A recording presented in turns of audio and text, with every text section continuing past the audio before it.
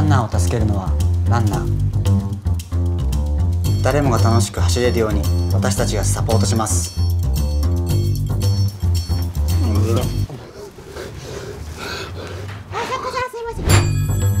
トレーニングで一番大事なこと何ですか？継続することだと思います。レース中で緊張を和らげる方法なんですか？笑顔を作ることですね。走るとき気分を上げるにはどうすればいい？ユリアンどう思う？私はこんな曲を聴きますね。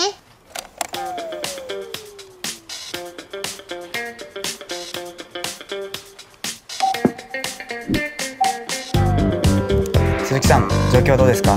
こちら鈴木智樹です。今ランナーをヘルプしてます。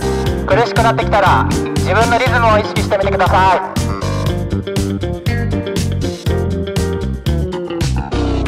あなたはきっとできる。